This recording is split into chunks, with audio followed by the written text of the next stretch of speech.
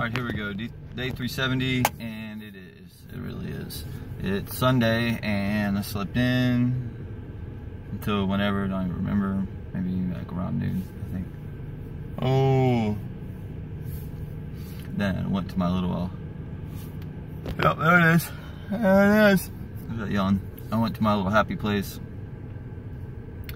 and chilled up out, man. Had a good time in the water. Felt good today. A nice sunny day.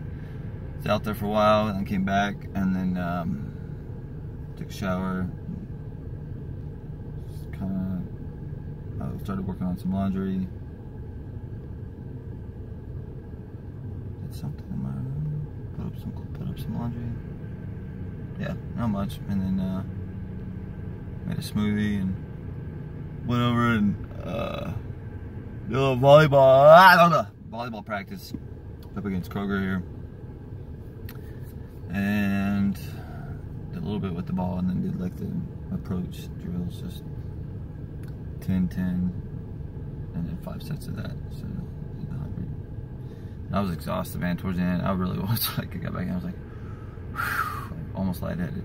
But I mean, it was it was good and I pushed hard. So, yeah No, sorry. That's why. I don't know why my mind went there, but I pushed myself really hard, and um, yeah, so that's a good neutral. I like. Anyway, it's about 8:30, so I'm gonna try to wind down here. Thirsty is all I get out, so I'm gonna go get an Under Armour body armor. That's it, and um, chill out and watch some volleyball. Then I'll go back and gotta return that Redbox. I watched Black Widow last night. It was good. And um, yeah, maybe keep on watching Star Wars. Continue. The saga continues. Anyway, so that's the day for today. Oh yeah, I'm gonna probably get um, I don't know, maybe bagel bites for dinner.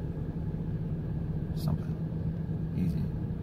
And then my cherry vanilla ice cream. Just waiting for me at home. And that's the day, yo. Catch you tomorrow. Peace.